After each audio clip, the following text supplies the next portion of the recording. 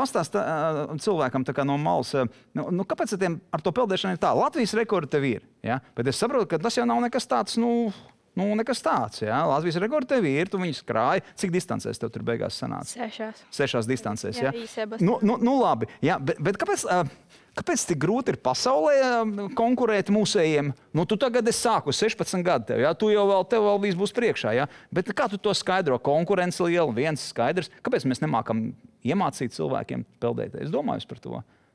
Es esmu domājusi, bet es nenonācu pie tāda viena konkrēta viedokļa par to, jo ir gan treneru jautājumi, gan sportistu jautājumi. Man liekas, ka vairāk sportisti nevar izturēt to slodzi, spriegumu, jo peldēšana ir ļoti, ļoti eh, tāds masīvs. Nē, uh, Jaudīgs.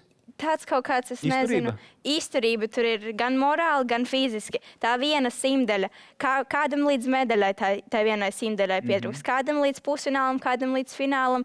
Tas ne katrs to var izturēt. Kāds Jā. jau pēc tam pirmajām nopietnām sacensībām var uh, aiziet projām un saprast, ka tas nav viņam. Viņš nevarēs to vairāk izturēt. Mm -hmm. jo tev, Jo, tā, jo tu tā gribi, tu tā centies, un tā viena simta, kas ir viena simta, tas ir nekas, tas tev nepaveicās vienkārši. Vai arī tā paveicās? A, kā tu vari izturēt? Es? Mana mamma ir. Ko mamma, mamma, nu, mamma pankūks ir uzcepta. Skaidrs, jā, bet Nē, viņa tur ar viņu veikt tā uzmanīgi. Nu, es-. Viņa ar to savu raksturu man ir labi Es zinu, jā. audzinājusi. Es, es ir bijusi daudz situācijas jau, jau, jau jaunībā, kur es uztrenēju to savu izturību. Arī tētis man ir tāds aktīvs. Nu, tur jau laikam jāliek vārds klāt vēl pacietība, ne? Izturība un pacietība. Jo tur nu, Jā. reizes jāiet arī kādā brīdī apraudāties kaut kur stūrītī. Nu, cik tas te var mocīt? Pavisam sev? noteikti var. Un es arī esmu daudzreiz raudājusi un daudzreiz jautājusi savu jautājumu, kāpēc? Jā. Kā, kāpēc? Kāpēc es nevaru iet uz skolu, vienkārši pasēdēt skolā, mācīties, aiziet pie skolas, aiziet pāriest un iet gulēt? Kāpēc tā tā mūka?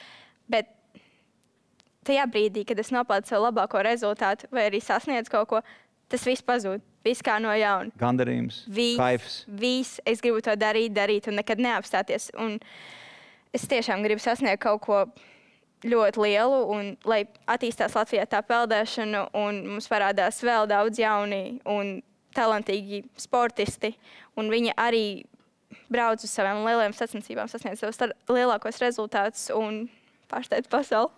Jo tas ir iespējams. Visu raidījumu skaties kopā ar Auto Capital un GoLife vitamīniem 360 TV un Shortcut Films.